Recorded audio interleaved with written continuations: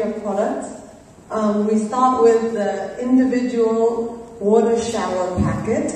And what you do is you place your water sachets on your roof. Thereafter, hang them in your bathroom, puncture a hole, and you have a hot shower. So we also don't want to waste water, so we have um, the top of a pen that can act as a clip. So when you don't need the water to come out, you just clip it. And any clamping device, you can use a clothespin as well. Um, after you've enjoyed your hot shower, you don't want to waste the plastic, so we have used it to make other products. So, um, so here is a purse, or you can use it to hold a camera. We've also made um, another purse as well. Oh, and a shirt. And a shirt.